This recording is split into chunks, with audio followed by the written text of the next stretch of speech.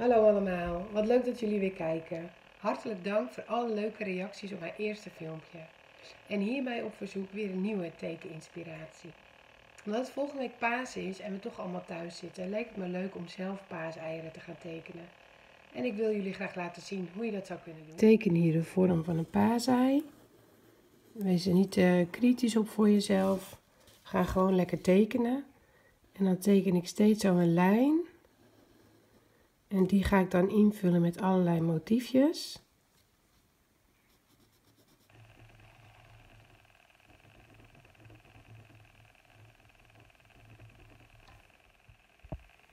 Dus je tekent gewoon zo een lijn. En dan maak je daar een uh, vormpje op die je leuk vindt.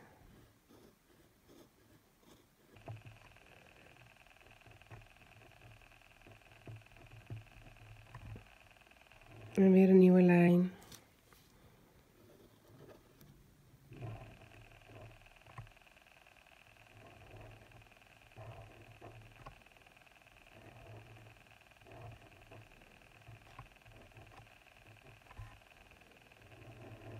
Die laat ik leeg.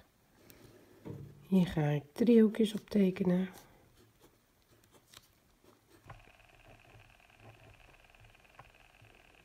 Kleine driehoekjes erin.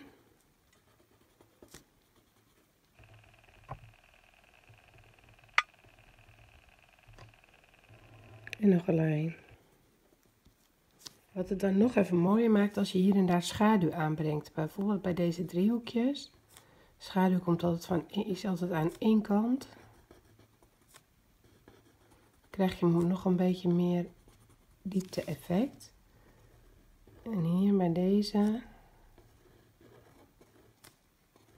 Zo vul je je eitje nog verder in. En verder met alle details die je leuk vindt. Zo is mijn eitje geworden.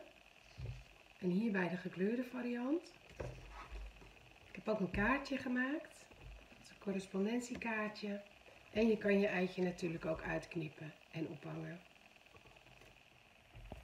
Ik wens jullie veel plezier met tekenen. Als je klaar bent met het tekenen op papier, kan je zo door naar de echte eieren. Uh, zou het super leuk vinden als je werk laat zien en heel graag weer tot de volgende keer.